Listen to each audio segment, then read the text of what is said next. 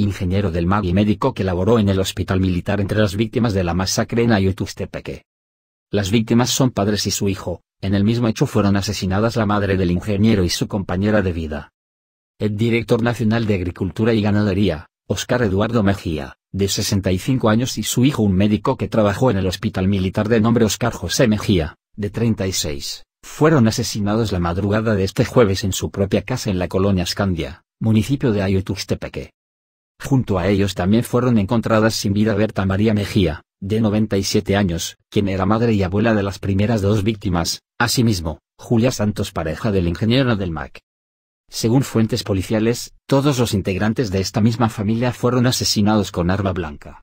Una persona ha sido retenida en vías de investigación por la Policía Nacional Civil, aseguró la mañana de este jueves el director de esa institución comisionado Mauricio Arriaza Chicas quien se presentó a la escena del múltiple crimen.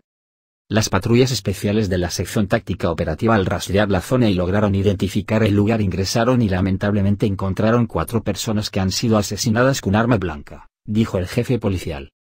Detalló que el sospechoso fue ubicado a unos 100 metros de donde está la vivienda en la que sucedió la masacre.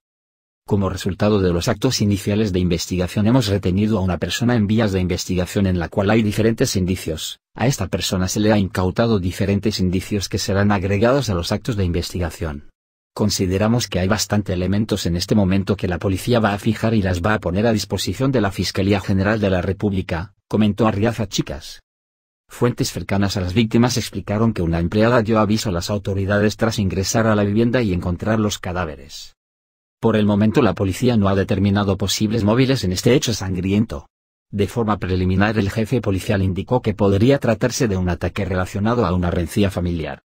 Lo que más nos acerca en este momento es rencilla entre la familia por un sospechoso que tenemos, pero eso se va a determinar en la investigación. No se pueden afirmar teorías que en este momento son preliminares, aclaró.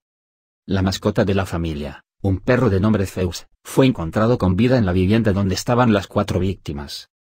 Al lugar se presentaron familiares de las víctimas quienes se mostraron consternados por lo ocurrido.